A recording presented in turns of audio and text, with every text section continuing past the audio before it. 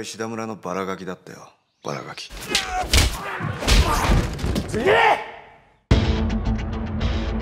喧嘩に明け暮れ侍になる夢を見てたっけよ。歳三はどう生きる？剣に生きるですよ。勇さんと一緒に天然理心流を天下に広めるですよ。今日に登れ剣に生きろ。土方さんが行くなら私も行きます。どこへ？都へ。大いにやるべ。なあ年動乱の幕末にわずか6年だけ存在した新選組。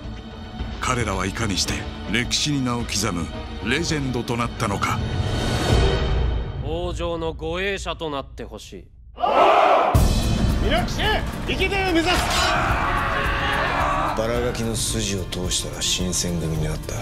知れば迷い知らねば迷わぬ恋の道シャラ臭いよ君は全て切り捨てる気分でいく私が先頭で行きます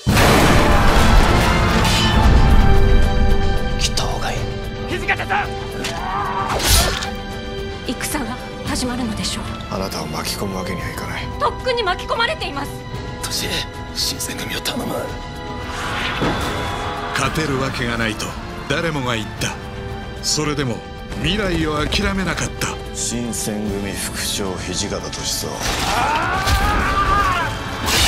燃えよ剣。